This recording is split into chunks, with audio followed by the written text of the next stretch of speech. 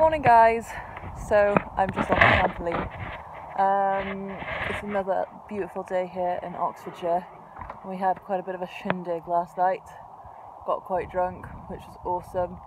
Had lots of champagne to celebrate the wedding of my uncle and his partner Kerry. They've been together for a long, long time, but they've just decided to get hitched, which was lush. So we had lots of cake and dinner and champagne, which was really, really nice. And I'm super tired. So, yeah, don't know what the plan is for today.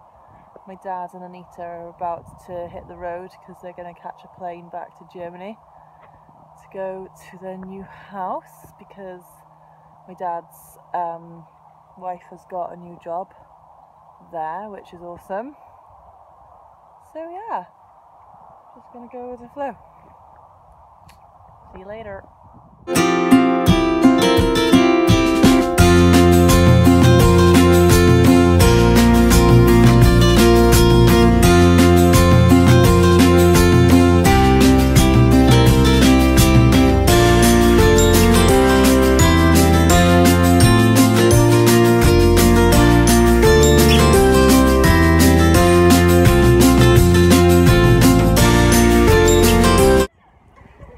Guys, so we've just come out for the afternoon to a lovely little pub called the Old Fisherman in a little village called Shabbington and I just want to take you around to where we first came in in the car park because it is stunning.